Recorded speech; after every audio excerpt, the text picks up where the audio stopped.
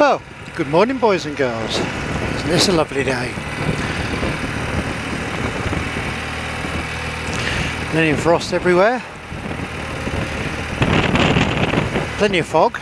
You look up, it's lovely blue sky. oh, it's nasty. And burns out. I heard some sirens yesterday, I wondered what they were.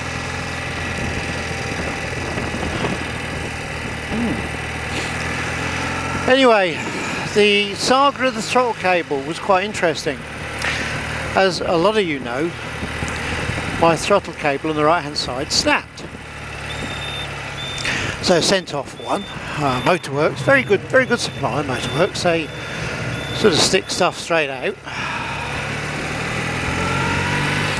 Next day, arrived, tinkering, tank off, seat off,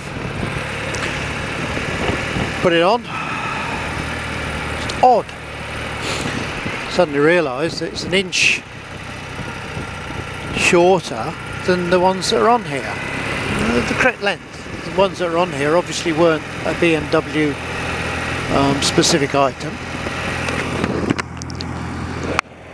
Uh, let's see if I can get it so I'm not actually eating my microphone. That would be a benefit. So, and send away for another one. That arrived yesterday. Not, yeah, the day before was the first one, yesterday was the second one. Got it fitted. Uh, postman didn't come till four o'clock in the evening. Good old GPO, so I'm sitting there at, well standing there, sorry, not sitting, standing there at six o'clock with a torch doing my throttle cables. And they're fine, they work. So, I'm back on the road. Happy birthday, Alan. Uh, birthday today. Oh, I feel the I feel the road. Um, it was probably gritted a couple of days ago, and you just feel little bits of black ice. Still just a little bit slippery. Um, 0.7 degrees down in this dip. It's because we're in a little valley. Cold enough for polar bear challenge by 0.7 of a degree, but there you go. Um, cyclists. Cyclists are moaning about car drivers and other road users. And they're starting to meet the problems that we meet, being carved up, forced over, you know, legs rubbed by bumpers, all this crap, and they're moaning. I have sympathy with them because I do ride a bike, but then again I don't have sympathy with them because they'll go through red lights, they'll ride up on the pavement. Um, I've even seen them going the wrong way around a roundabout. They don't have to obey the law of the road. So the average motorist is actually getting pretty damn fed up of the average cyclist. Yeah, there are good cyclists who obey the law and there are um, the average cyclist, but there's a lot of bad cyclists, especially in cities like London or Cambridge where I go.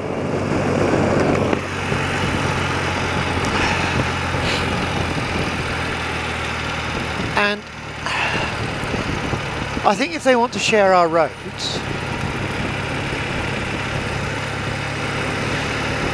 I think they should be forced to pay road tax and be registered and take a riding test.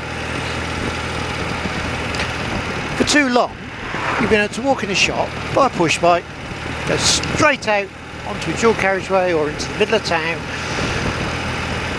and do what the hell you want. And the roads are so crowded now, and the roads are overcrowded.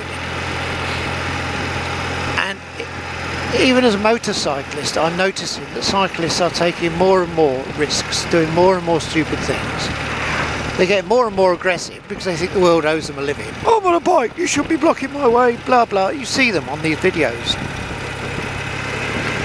So, who's in agreement? Come on, chaps, let's start a lobby to have push bikes registered so you can find the owner when they're doing something stupid and have a riding test and a license and pay insurance so that when you do hit a car mirror or you do scratch a car they can report you and they can claim compensation I know if I knock somebody's mirror off, they'll claim on my insurance. Why should bikes get away with being rude and going down between traffic and knocking mirrors off? I'm sorry, I don't see the point in them getting away with that. It's pretty nippy though. Trying to find a position I'm not chewing my mic. Oh, I hate this helmet. It's too tight. Where the modular front comes down, it's just a bit too tight on the old um, face. So the mic is actually wedged between the modular and my lip. Very uncomfortable.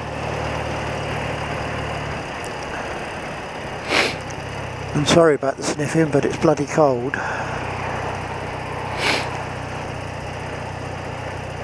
Oh, I can't see a bloody thing.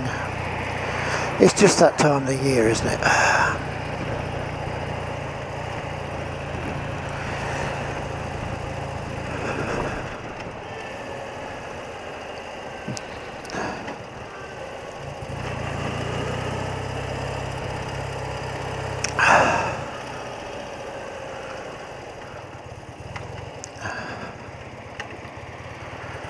Whoop, beat up. Or him.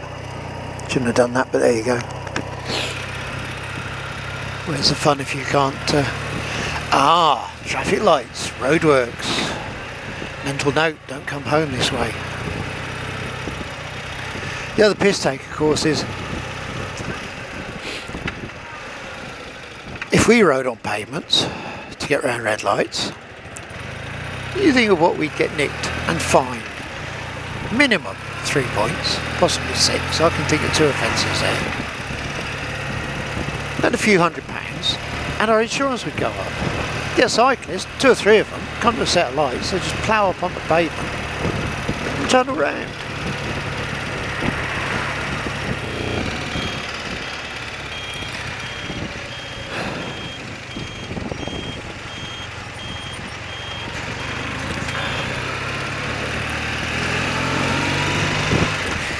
The other thing about winter that I don't like um, is the road salt. Oh, bloody silly Mike.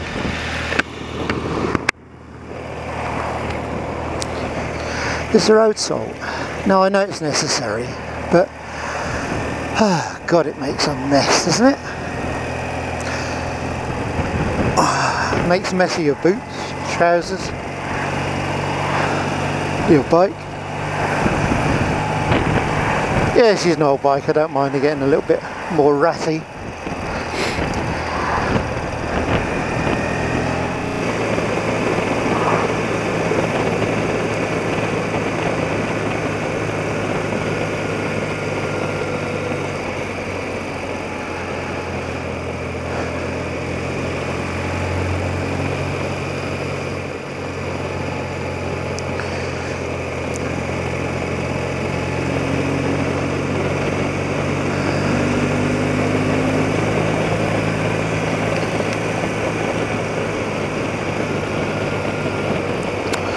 Oh, what's happened here? Dear oh dear.